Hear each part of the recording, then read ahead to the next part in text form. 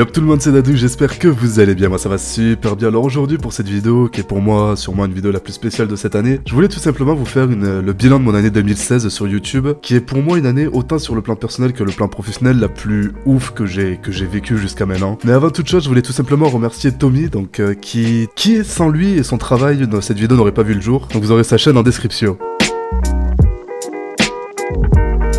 Pour moi, 2016, en 5 chiffres, c'est 10 millions de vues sur l'année, 100 000 abonnés sur l'année, 275 000 likes et 15 000 dislikes, bien entendu, 16 000 followers sur Twitch, et l'optation des subs, très important, et la première fois de ma vie où j'ai fait 100 euros de monétisation. Après aussi, bien entendu, mes 5 vidéos, on va dire mes 5 vidéos qui ont le mieux marché.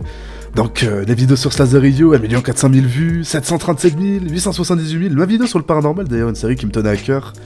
Et une, la dernière sur Splixio, des vidéos qui vous ont énormément plu. Et ça, je vous en remercie, parce que c'est en grande partie grâce à ces vidéos-là que j'ai pu faire de si belles stats. Et mes plus gros beats de l'année aussi, bien entendu, pour moi, des vidéos qui auraient mérité un peu plus. Bon, peut-être sauf ma playlist du moment, où ça c'était une belle connerie, mais les autres, pour moi, méritaient un petit peu plus, je pense. Si je devrais prendre l'effet marquant mois par mois, en janvier, c'est la première fois de ma vie qu'on m'a offert le jeu. Oui, un éditeur m'a offert un jeu en janvier, c'était Just Cause 3, donc merci encore à eux. En février, bah, j'ai tout simplement twerk sur YouTube. Oui, oui, messieurs, j'ai twerk, oui. Euh, en mars, c'est là où j'ai commencé à me séparer tout simplement de GTA et me diversifier au niveau de mon contenu, me faire un peu plus plaisir. En avril, c'est là où la première vidéo de ma chaîne a dépassé les 100 000 vues, et ça, c'était vraiment énorme. En mai, tout le monde connaît, en mai, ça a été l'apparition de Slazario, bien entendu. Sûrement le jeu qui m'a fait le plus connaître.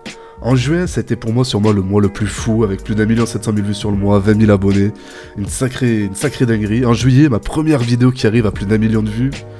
Et franchement, en août, le Graal, les 100 000 abonnés. On a passé le cap des 100 000 en, août. Septembre, sûrement le mois le plus compliqué, avec 1500 euros de litige. Malheureusement, ça a été un fait marquant, je voulais vous en parler.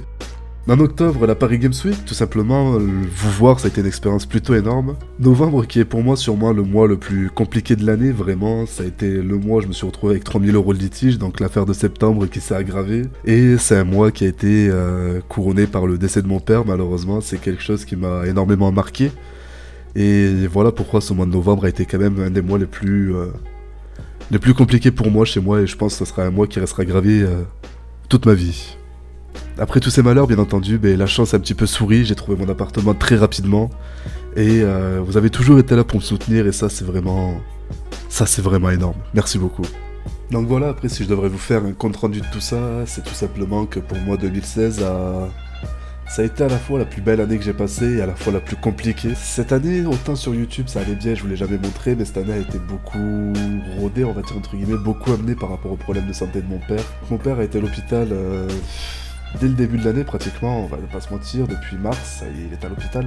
Euh, ça a été quelque chose de très éprouvant sur le plan physique et moral, on va pas se mentir, hein. voir son père au plus mal c'est compliqué, euh, surtout après tous les rebondissements qu'il y a eu dans cette affaire. Il, est sorti de l'hôpital tout simplement début août et il est retourné début octobre n'est plus jamais ressorti malheureusement. Et si on rajoute à ça les gros problèmes financiers que j'ai eu en parallèle, bah, ça a été vraiment une année sur ce plan-là extrêmement compliquée, extrêmement riche en émotions, on peut dire ça comme ça.